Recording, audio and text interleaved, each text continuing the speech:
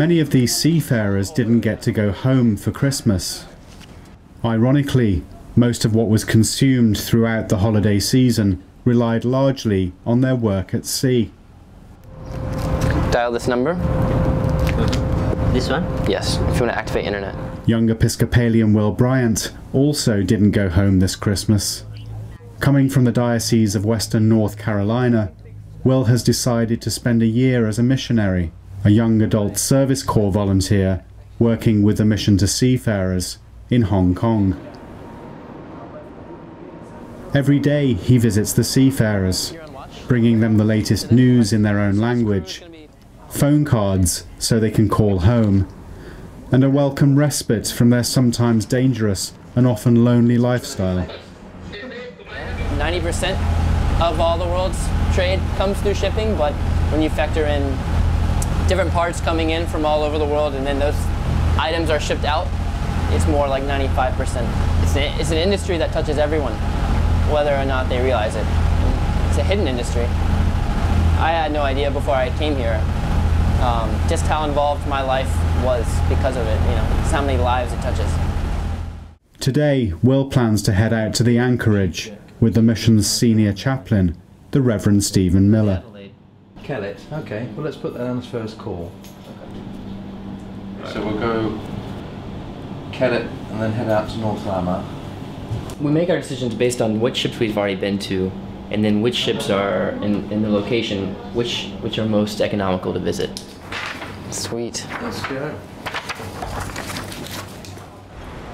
In terms of world trade, uh, everything really depends upon ships and the people that drive them, the seafarers, the engineers, and the and the deck crew.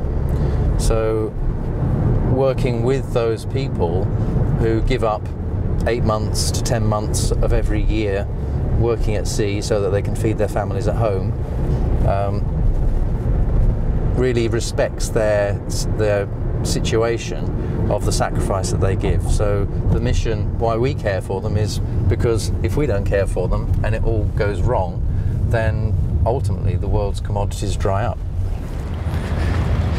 Hong Kong is just one of 260 ports throughout the world where Mission to Seafarers has a presence. Established in 1856, it's one of the oldest Anglican mission agencies, bringing much needed support to those at sea. So uh, here's all of our news. Korean newspaper, Chinese newspaper, Filipino newspaper, and then we also bring football DVDs, boxing DVDs, just anything to make them feel a little bit more at home.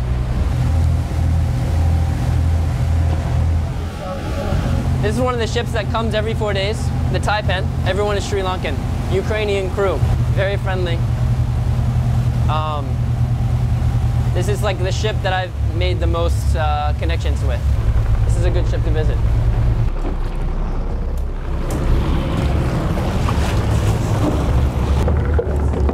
Hello.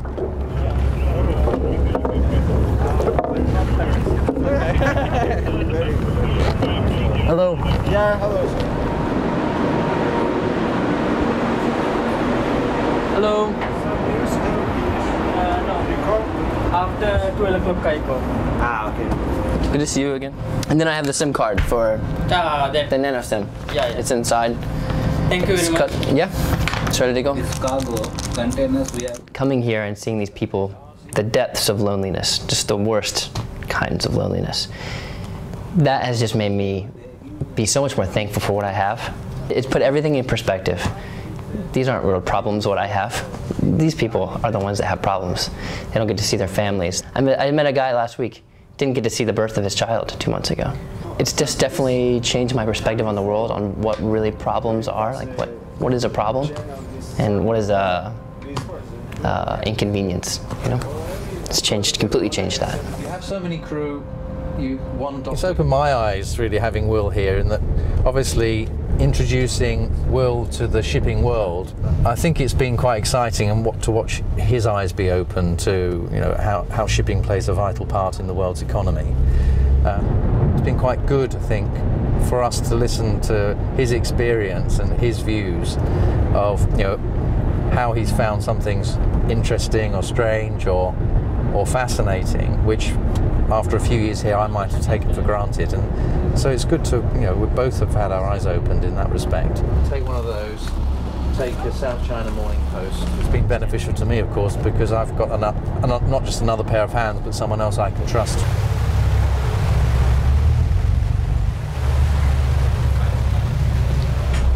But the wire is there.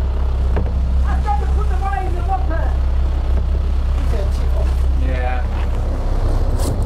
They won't lower the wire. They need to lower the wire. I don't think we'll be going up on this one, just because they don't want to lower the line. But we'll, we'll send a little plastic bag full of newspapers, DVDs. Just send it up instead of going on board. 60. 60. 60 dinar. 60.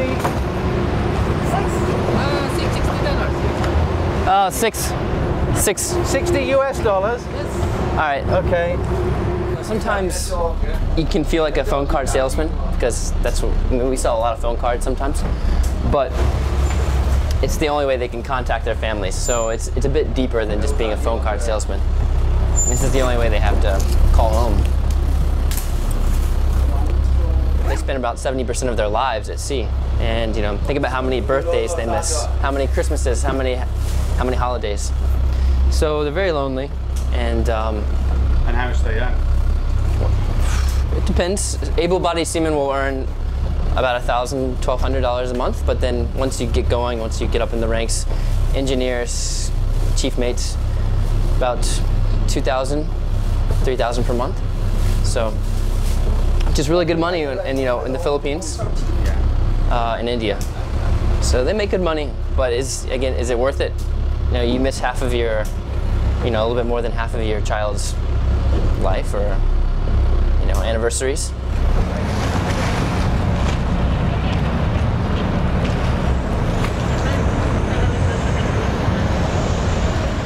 This opportunity offers you a chance to not only pursue your faith, not only learn more about yourself spiritually, about other communities, about um, other faith communities, but also allows you to learn about other parts of the world, learn another language, um, and do so on a budget.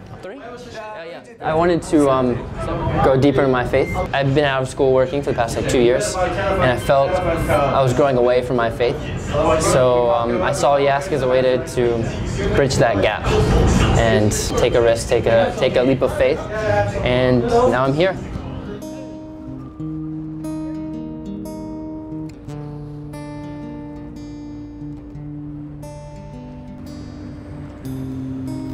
After half a day at sea, Will and Stephen have an important visit to make back on land. Some of these guys, they get their appendix out and they get an infection and then they're in a hospital by themselves in a country where they don't speak the language. And uh, you know, Stephen and I will go visit. There's nothing worse in hospital than a visiting time. Everybody else gets a visit, but you don't. It means a lot to them. They're really the only people that care about them in this foreign country.